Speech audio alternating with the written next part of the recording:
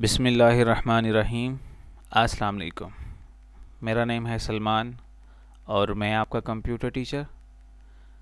तो मैं आपको पढ़ाऊँगा क्लास टेंथ की computer.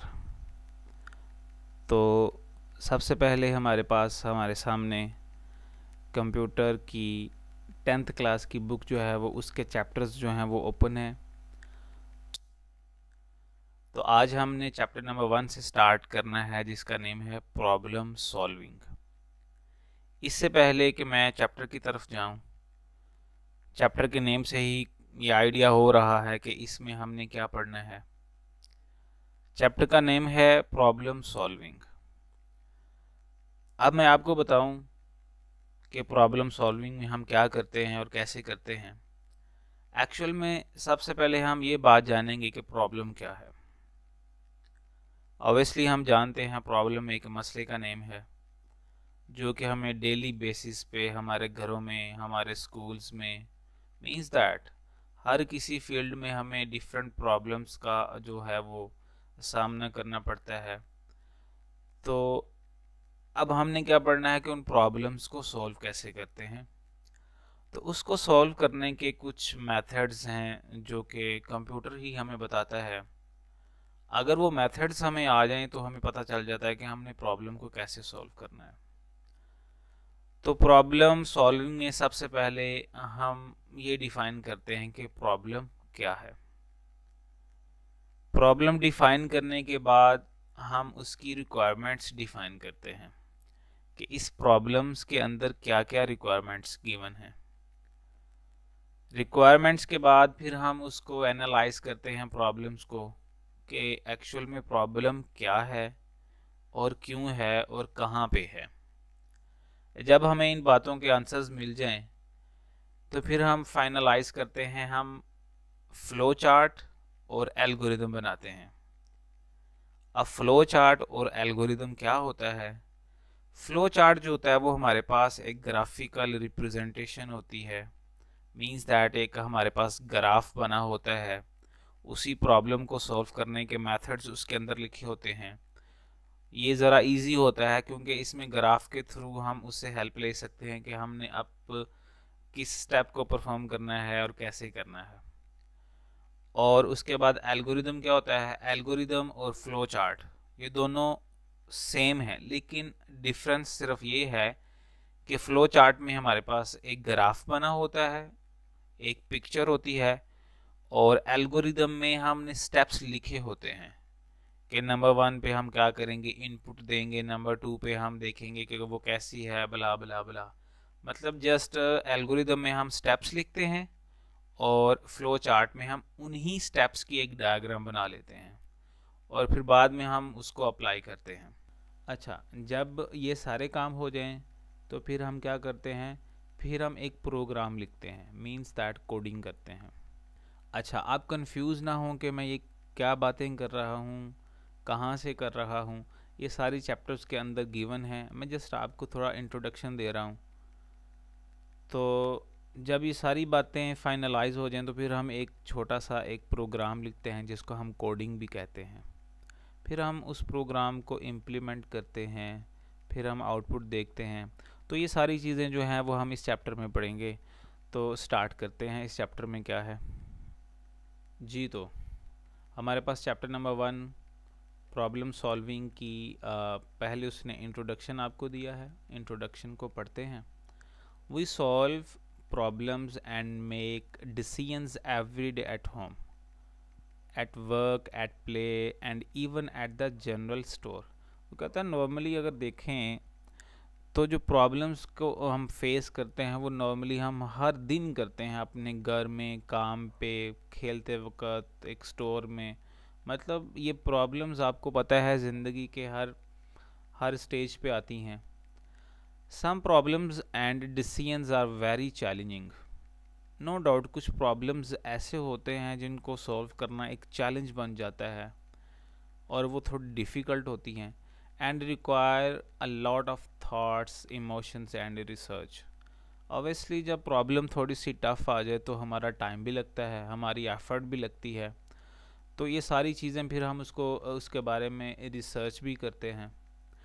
However whatever the natures of the problem is we always try to find multiple solutions so that we can have option to choose the best one वो कहता है no no doubt कि हमें कोई भी problem हो, हम maximum ये कोशिश करते हैं कि हम मल्टीपल सोल्यूशन इसके फाइंड कर लें, ताकि उन सॉल्यूशंस को फिर हम सेपरेटली अप्लाई करें, फिर उसमें से जो बेस्ट सोल्यूशन होगा, फिर हम उसको अप्लाई करते हैं। 1.2 problem solving methods problem solving is a skill which can be developed by following a well organised approach वो कहता है प्रॉब्लम सॉल्विंग एक स्किल है।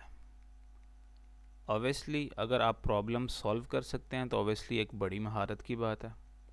Which can be develop by following a well organise approach अगर आप problem solving की महारत रखते हैं, अगर आप में वो स्किल है तो हम एक ऑर्गेनाइज्ड अप्रोच से हम उस पर अमल कर सकते हैं, एक बेस्ट वे से। Programming is also a problem solving activity वो कहता है प्रोग्रामिंग और प्रॉब्लम सॉल्विंग वो कहता है ये दोनों सेम है। ऑब्वियसली अगर आप प्रोग्रामिंग कर सकते हैं तो आप प्रॉब्लम सॉल्विंग भी कर सकते हैं। और अगर आप प्रॉब्लम सॉल्विंग कर सकते हैं तो आप प्रोग्रामिंग भी कर सकते हैं। प्रोग्रामिंग क्या है? प्रोग्रामिंग एक्चुअल में कोडिंग है, जो कि हम डिफरेंट हम प्रोग्राम लिखते हैं कोडिंग के through if you are a good problem solver you have the potentials to become a good programmer वो कहता है, अगर आप अच्छे प्रॉब्लम सॉल्वर हैं तो एक आप तो आप क्या कर सकते हैं? आप अच्छे प्रोग्रामर भी बन सकते हैं. Problem solving methods are covered in many subject areas वो कहता है, हमारे पास कुछ मेथड्स हैं जो आपने मतलब डिफरेंट जगह से पढ़े होंगे. Business students learn to solve problems with the related system approach. Obviously जो बिजनेसमैन है वो बिज़नेस के बारे में ही पढ़ता है और उसी के बारे में आ, कोई प्रॉब्लम हो तो उसको सॉल्व करता है। While engineering and science students use the engineering and scientific methods obviously जो बिज़नेस स्टूडेंट होते हैं वो अपनी सिस्टम्स अप्रोच को यूज़ करते हैं। और जो इंजीनियरिंग और साइंस के स्टूडेंट्स होते हैं, वो या तो इंजीनियरिंग को यूज़ करते हैं या साइंटिफिक मेथड्स को यूज़ करते हुए अपनी प्रॉब्लम को सॉल्व करते हैं। तो हर फ़ील्ड अपनी डिफरेंट प्रॉब्लम रखती है। Programmers use the software development methods programmers जो होते हैं, वो नॉर्मली सॉफ्टवेयर डेवलपमेंट का तरीका इस्तेमाल करते हैं। जैसे हम सॉफ्टवेयर डेवलप करते हैं, वही जो मेथड होता है, वही हम इस्तेमाल करते हैं इसमें। अब वो उसने कुछ स्टेप्स बताए हुए हैं। स्टेप्स क्या है हमारे पास? Pro the following steps can be followed to solve any kind of problem वो कहता है, अगर ये स्टेप्स जो हैं, जो नीचे गिवन हैं, ये हमारे पास नाइन स्टेप्स हैं। कहता है, कोई भी प्रॉब्लम हो, इन नाइन स्टेप्स की हेल्प से हम उस प्रॉब्लम को दूर कर सकते हैं। अब स्टेप नंबर वन क्या है? प्रॉब्लम आइडेंटिफिकेशन जो कि मैंने पहले आपको बताया है कि हमें पता होना चाहिए कि प्रॉब्लम है क्या। अब ऐसा नहीं कि हमें पता है कि प्रॉब्लम है, लेकिन ये आइडिया ही नहीं कि प्रॉब्लम क्या है और कहाँ पे है। तो पता होना चाहिए प्रॉब्लम क्या है और कहाँ पे है। Step number two specify requirements अब ऑब्वियसली जब हमें प्रॉब्लम पता चलेगी तो हमें ये आइडिया हो जाएगा कि इसकी रिक्वायरमेंट्स क्या हैं, जिसकी बेस पे प्रॉब्लम ने दूर होना है, या जिसकी बे जिसकी वजह से प्रॉब्लम्स आ रही हैं।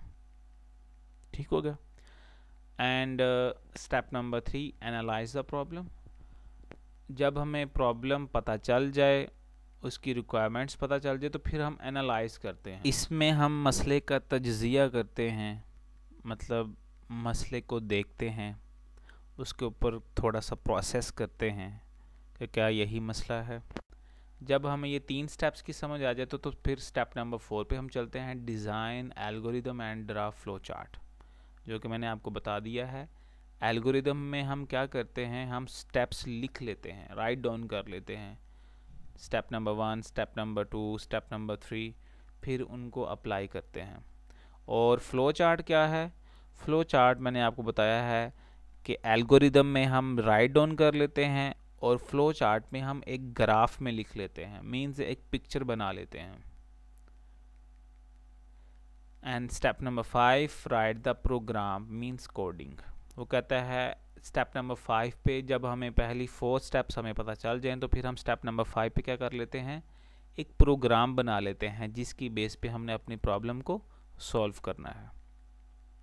और जब प्रोग्राम बन जाए फिर वो कहता है test and debug the program वो कहता है, वो उस प्रोग्राम को आप टेस्ट करें कि क्या वो वर्किंग कर रहा है and debug the program debug means आप उसमें देखें, कोई एरर तो नहीं और अगर एरर है तो आप उसको रिमूव करें। Step number seven implement the program अगर आपने टेस्ट कर लिया है डिबग भी कर लिया है तो फिर हम क्या करते हैं? फिर हम उसको इंस्टॉल कर देते हैं सिस्टम में। उसको इम्प्लीमेंट कर देते हैं।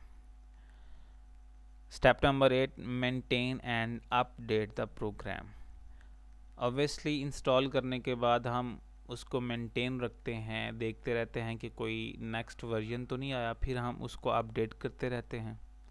And step number nine document the program जब हमें फाइनलाइज हो जाए कि हमारा प्रोग्राम बिल्कुल ठीक है तो फिर हम उसकी डॉक्यूमेंटेशन बना देते हैं।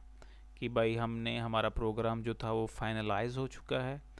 फाइनल स्टेप पे हम उसकी डॉक्यूमेंट बना के फिर हम उसको, जिसकी प्रॉब्लम होती है, फिर हम उसको दे देते हैं कि आपका सलूशन इस सॉफ्टवेयर में है। डॉक्यूमेंट में हम नो no डाउट ये बता देते हैं कि आपने सॉफ्टवेयर को कैसे यूज़ करना है। मींस दैट इसमें थोड़ी इंस्ट्रक्शंस होती हैं प्रोग्राम के बारे में। आई होप सो आपको ये समझ आ गई होगी।